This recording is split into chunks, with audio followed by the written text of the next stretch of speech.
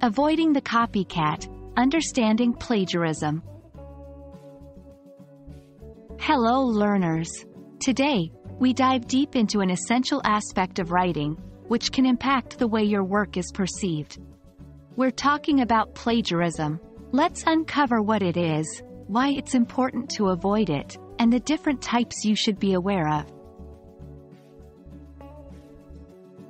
Plagiarism is the act of using someone else's work or ideas without giving them proper credit. In simpler terms, it's like taking someone's work and presenting it as your own. It's dishonest, unethical, and can have serious consequences in both the academic and professional world. Always remember, your originality is your strength.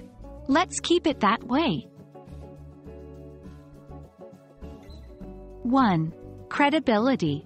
If you plagiarize, people will doubt your skills and authenticity. 2. Learning. By doing your own research and writing, you learn and grow. 3. Ethics.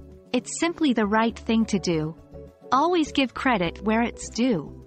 4. Consequences. Plagiarism can lead to failing grades, job loss, or even legal actions in some cases.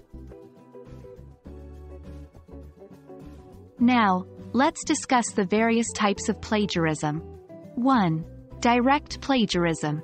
Copying someone's work word for word, without quotes or citation. 2. Mosaic plagiarism. Borrowing phrases from a source without using quotation marks, or finding synonyms for the author's language while keeping the same general structure and meaning. 3. Self-plagiarism. Submitting one's own previous work as new. Yes, you can plagiarize yourself. 4. Accidental plagiarism. Forgetting to cite a source or mistakenly paraphrasing a source incorrectly.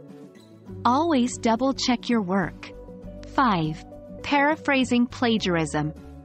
Rewriting someone else's ideas or work without proper citation, even if you change the words.